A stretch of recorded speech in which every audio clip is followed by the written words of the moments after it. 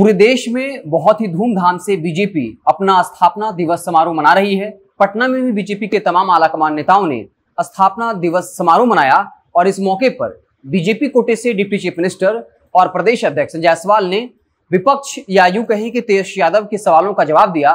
तेज यादव ने कहा था कि बिहार में बीजेपी के पास मुख्यमंत्री का कोई चेहरा नहीं है, इसलिए वो गाहे बगाहे योगी मॉडल का ज़िक्र करते रहते हैं। इस मसले पर जब सवाल पूछा गया, तब तारकिशोर प्रसाद ने साफ़ कह दिया कि एनडीए के तमाम घटक दलों ने अपनी स्वेच्छा से नीतीश कुमार का नेतृत्व स्वीकार किया है। हालाँकि जब ये सवाल पूछा गया कि बिहार बीजेपी की तरफ़ से मुख्यमंत्री का चेहरा कौन होगा तब तारकिशोर प्रसाद जो है वो गोल मोल जवाब देते नज़र आए। लेकिन बीजेपी के प्रदेश अध्यक्ष ने कह दिया कि जब उत्तर प्रदेश का पिछले दफ़ा विधानसभा चुनाव हुआ था उस वक्त कोई नहीं जानता था कि योगी आदित्यनाथ उत्तर प्रदेश के मुख्यमंत्री होंगे। कोई नहीं जान, जानता था कि हरियाणा के मुख्यमंत्री मनोहर लाल खट्टर हो जाएँगे।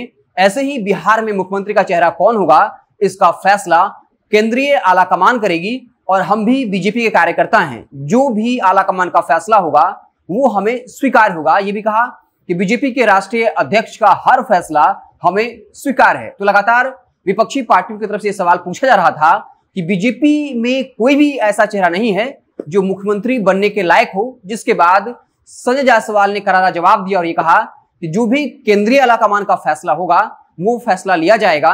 उस वो फैसला जो है वो सरमान होगा, क्योंकि किसी को नहीं पता था, जब पिछले दफे यूपी में चुनाव हुआ था, योगी आदित्यनाथ मुख्यमंत्री बनेंगे। आपको बता दें कि आज स्थापना दिवस समारोह के मौके पर देश के प्रधानमंत्री मोदी ने पूरे बीजेपी के कार्यकर्ताओं को संबोधित किया और ये कहा कि देश और दुनिया में फैले तमाम बीजेपी के कार्यकर्ताओं को मैं बहुत बहुत शुभकामनाएँ देती, देता हूँ। हमारे पास नीति है और नियत है और यही एक भारत और श्रेष्ठ भारत के सपने को पूरा करेगा।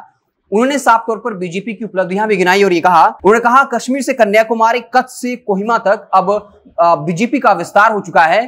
तीन दशक बाद पहली बार ऐसा हुआ है जब राज्यसभा में हमारी पार्टी के 100 सदस्य हैं तो बीजेपी लगातार सफलता की ओर बढ़ रहा है और बीजेपी का हर कार्यकर्ता जो है, वो एक भारत, श्रेष्ठ भारत के सपने को जीता है। तो आज स्थापना दिवस समारोह के मौके पर राजधानी पटना में भी बीजेपी के तमाम आलाकमान नेताओं ने इसे धूमधाम से मनाया और इस मौके पर संजय जायसवाल ने साफ़ कर दिया कि बीजेपी की तरफ़ से मुख्यमंत्री का चेहरा कौन होगा, ये फैसला केंद्रीय आलाकमान को करना है। पिछले दफे लगातार इस तरह की चर्चाएँ चल रही हैं कि नीतीश कुमार ने राज्यसभा जाने की मंशा ज़ाहिर की है, क्योंकि नीतीश कुमार ने एक बयान में कहा था कि मैं अब तक राज्यसभा नहीं गया हूँ और फ़िलहाल बिहार की सेवा कर रहा हूँ। उनके इन दो बयानों से यह कयास लगाया जाने लगा नीतीश जी अब राज्यसभा जाना चाहते हैं और राज्यसभा का अगर उनको सभापति बनाया जाता है तो वो देश के उपराष्ट्रपति बन जाएँगे। एक तरफ़ चर्चा ये भी चली कि अगर नीतीश कुमार बिहार में मुख्यमंत्री का पद अगर बीजेपी को दे देते हैं, तब हो सकता है कि बीजेपी नीतीश जी को राष्ट्रपति भी बना दे। हालाँकि उसके बाद नीतीश जी ने खुद कहा कि पता नहीं कहाँ से ऐसी अफवाहें उड़ जाती हैं और अब बीजेपी की तरफ़ से deputy chief minister Tarkishore Prasad ने भी साफ़ कर दिया कि नीतीश जी जब मुख्यमंत्री बने, इसमें तमाम एनडीए के घटक दलों का फैसला था।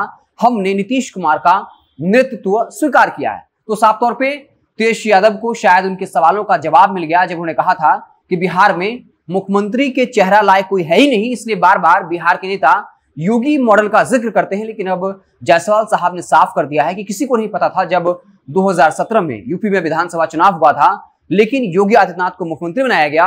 हरियाणा में जब विधानसभा चुनाव हुआ तो मनोहर लाल खट्टर को मुख्यमंत्री बनाया गया। वैसे ही बिहार में बीजेपी की तरफ़ से मुख्यमंत्री का चेहरा कौन होगा? ये फैसला केंद्रीय आलाकमान करेगा। दिलचस्प बात यह है कि जब सवाल पूछा गया कि बीजेपी की तरफ़ से मुख्यमंत्री का चेहरा कौन होगा तो इस बात से नहीं तारकिशोर प्रसाद और नहीं जायसवाल ने इंकार किया। मतलब अब बीजेपी चाहती है कि बिहार में बीजेपी की तरफ़ से कोई मुख्यमंत्री का चेहरा होना चाहिए। आप देखते रहे जनता जंक्शन, जैसे ही कोई और बड़ी खबर आएगी तो हम उससे आपको अपडेट करेंगे। बहुत बहुत धन्यवाद।